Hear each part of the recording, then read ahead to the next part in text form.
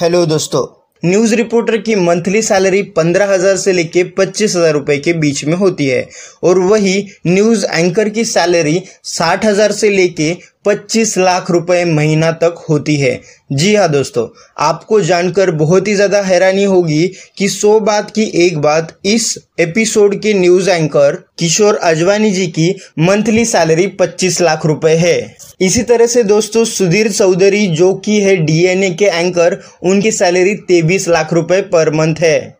इसी तरह से दोस्तों रजत शर्मा, जो कि आपकी अदालत इस एपिसोड के एंकर है, उनकी हर महीने की सैलरी 28 लाख रुपए है। यानी कि न्यूज़ एंकर हर साल लगभग तीन करोड़ से लेके पाँच करोड़ रुपए तक की सैलरी ले सकते हैं। आज सारे स्टूडेंट्स अपने लाइफ के अंदर ग्रेजुएशन कंप्लीट करके एक अच्छा करियर सेट करना चाहते हैं। हम में से कई सारे ऐसे स्टूडेंट्स हैं जिनका सपना न्यूज़ रिपोर्टर और एंकर बनने का होता है।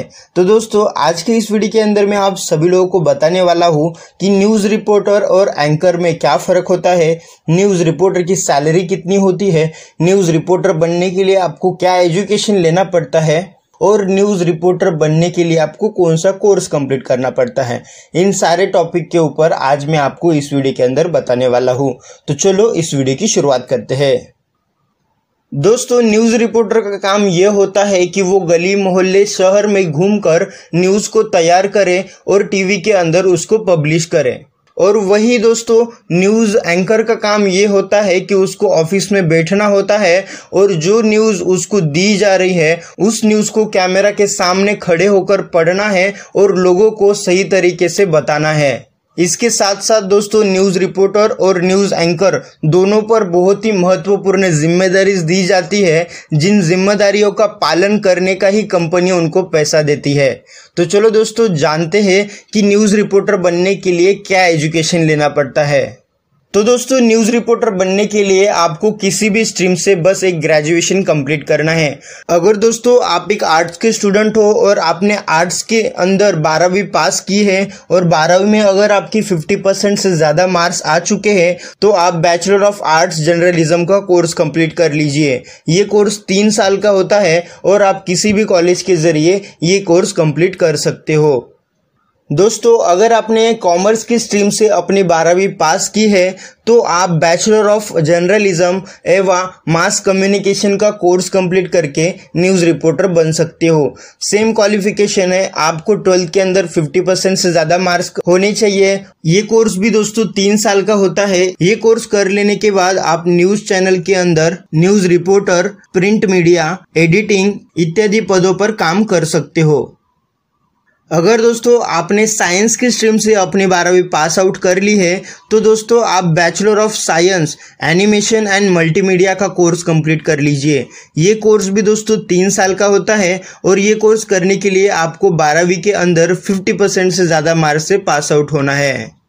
अगर दोस्तों आपने ये वीडियो बहुत ही ज़्यादा लेट देखा है, यानी आपने अपना ग्रेजुएशन कंप्लीट कर लिया है, फिर आप इस वीडियो को देख रहे हो और अभी आप न्यूज़ रिपोर्टर बनना चाहते हो तो आपको ज़्यादा कुछ नहीं करना है। बस आपको जर्नलिज्म का डिप्लोमा कोर्स कंप्लीट करना है, जो कि सिर्फ़ एक साल का होता है। एक साल का कोर्स कंप्लीट कर लेने के बाद आप न्यूज़ रिपोर्टर के जॉब के लिए अप्लाई कर सकते हो।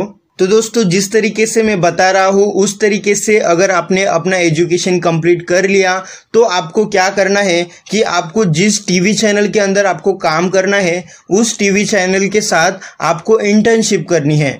इंटर्नशिप के अंदर आपको एक्सपीरियंस मिल जाता है जिसके ज़रिए आपको पता चलता है कि काम कैसे किया जाता है और जैसे जैसे दोस्तों आप अपने काम के अंदर माहिर होते हो, वैसे वैसे आपकी सैलरी भी कंपनी बढ़ाती रहती है। और अगर आप अपना काम बहुत ही अच्छी तरीके से कर रहे हो तो चैनल वाले आपकी पोस्ट बढ़ाते रहते हैं। फिर एक टाइम ऐसा आता है कि आपको उस चैनल का न्यूज़ एंकर बना दिया जाता है। तो दोस्तों न्यूज़ एंकर बनने के लिए आपको ये छोटे छोटे स्टेप्स जो है, उनको फॉलो करना होता है और धीरे धीरे आगे बढ़ना होता है। एंड में आपको न्यूज़ एंकर की पोस्ट मिल जाएगी। न्यूज़ एंकर के पोस्ट पर आपके ऊपर ज़िम्मेदारी भी आएगी। तो चलिए जान लेते हैं कि न्यूज़ रिपोर्टर बनने के लिए या फिर न्यूज़ एंकर बनने के लिए क्या क्या स्किल्स आपके अंदर होनी चाहिए। तो दोस्तों न्यूज़ रिपोर्टर बनने के लिए आपके अंदर स्किल्स होनी चाहिए जैसे कि आपको न्यूज़ को अच्छी तरीके से बनाना आना चाहिए और उसको अच्छी तरीके से रिप्रेजेंट भी करना आना चाहिए। आपके अंदर बोलने का कॉन्फिडेंस होना चाहिए, आपके अंदर कम्युनिकेशन स्किल्स होनी चाहिए आपके अंदर स्टेज फियर होना चाहिए, आपको कैमरा के सामने अच्छी तरीके से बोलना आना चाहिए। साथ ही साथ दोस्तों, आपको अच्छी तरीके से रीड भी करते आना चाहिए, क्योंकि एंकर का सबसे ज़्यादा काम रीड करना होता है। उसको उन सब न्यूज़ को अच्छी तरीके से पढ़कर लोगों को रिप्रेजेंट करना होता है। इसके साथ साथ दूसरी अच्छी चीज़ें भी आपके अंदर होनी चाहिए। जो सच्चाई और ईमानदारी से अपना काम करता है, वही लाइफ के अंदर एक सक्सेसफुल पर्सन बनता है। अधिक जानकारी के लिए आप न्यूज़ रिपोर्टर किशोर अजवानी की लाइव स्टोरी या फिर बायोग्राफी पढ़कर अंदाज़ा लगा सकते हो कि न्यूज़ रिपोर्टर बनना कैसा है। डिफ़िकल्ट है या फिर इजी है। उम्मीद करता हूँ दोस्तों, आज का वीडियो आपके काम आ गया होगा। इस वीडियो को शेयर करके लोगों की मदद करो। आपका प्यार देने के लिए और ऐसे वीडियोस हर रोज़ देखने के लिए सब्सक्राइब करें हमारे चैनल को। धन्यवाद।